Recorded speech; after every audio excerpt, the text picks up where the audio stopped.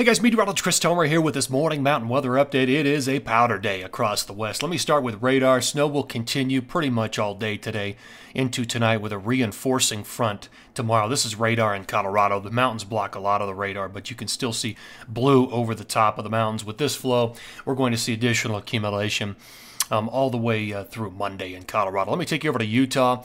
So, your big push of snow, you had about two feet overnight um, is come and gone. But now you're going to see this this continuation of this this flow right along that Arctic boundary that will continue to squeeze out and lift the air just enough to get snow to keep snow going um, through tonight into tomorrow morning across a lot of the Wasatch. It won't be as heavy as what we saw overnight, but it will still continue to lift the air just a little bit. So up in the Vail area, looking at at least a foot of snow up there.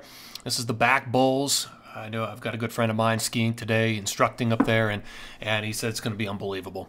So big powder day, and you've got potentially another foot on the way, but before all is said and done, here's um, Alta, two feet of snow overnight at least, and again that that snow will continue. Um, all the way through this afternoon, tonight, and into tomorrow morning before coming to an end. So, let me just take you over to my uh, headlines here this morning. Here's what I'm seeing. Snow will continue into 115 for Colorado and Utah, and it may come back as well in the Tetons. Probably not until this afternoon tonight, but it will, I think, to some degree, come back with some um, some light um, to moderate accumulations um, tonight into tomorrow morning in the uh, the Tetons. A reinforcing front comes in on Monday. It's another shot of cold air, and that's what will keep a lot of the snow going. It's just another boundary. The next storm system looks really good, 117 to 118 with a nice west northwest orientation, and the Pacific pattern opens up 120 to 123. Um, that's a whole different thing, so I'll explain that coming up. But let me just show you what this looks like on the forecast radar and satellite. So that's the situation by this afternoon. Notice the snow in the Tetons, the Wasatch, and in Colorado. There we are. Monday at 6, snow continues in many of those areas all the way through the afternoon hours, and it finally exits. Now we refocus. Here comes the storm on um, into the Pacific Northwest. There's 117 in the afternoon. So snow overspreads, west northwest flow, Tetons, Idaho, northwest Montana, rich into BC, very rich up there in Washington and Oregon. The Wasatch, everybody gets snow with this one. And then it continues into 118 for a lot of the northern tier. And then it uh, wraps up on uh, 118 late in the day. And then this, the flow kind of shifts right here. I'd say between probably 119, maybe 120 and 123, the big Pacific jet's going to open up um, the flow, and it's going to be much warmer across the west as a result. So you can see it in the jet pattern. There it is. You can see the trough diving south. This is 115 tomorrow. That's going to help to uh, remove the storm from the Intermountain West. It'll be on the exit path at that point. Here's 117, that next storm system. A nice flow out of the west northwest will squeeze out some generous snow over the uh, the Tetons, the Wasatch, and parts of Colorado. Good orographics with that. Here's one seven or here's 122, and look at this, totally different pattern here.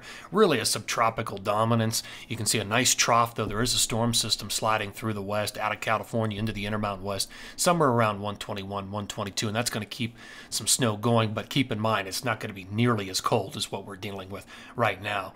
Um, it's going to be a different quality of snowfall. Here's the, uh, the new grand total map. So the rest of today through 123, you've got uh, great snow um, another at least three feet uh, for um, the Little Cottonwood Canyon, and that's going to account for uh, the rest of today, tonight, tomorrow, and then that 117, 118 storm, and probably that Pacific flow down the road. So there's a number of contributing factors. In Colorado, we're looking at potentially still one to two feet yet to go in this flow. Um, pretty rich stuff up in the Teton, especially out of that 117, 118 storm, and big snow in BC and the Pacific Northwest, northern Idaho, northwest Montana, 117, 118, and beyond once that Pacific flow opens up. You know, you zoom into Colorado along the central and northern mountains, and again, this is grand total between today and 123. We still got one to two feet of snow to go. That's on top of what we got last night.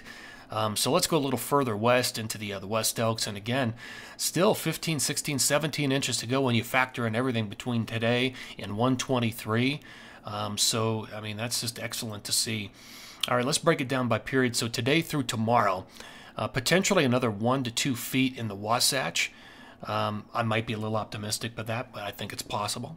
In Colorado, another four to 12 inches potentially uh, on the way there. So still a lot of snow yet to go in Colorado today and tomorrow with that Arctic front lingering over the top. And that's on top of what we've already got.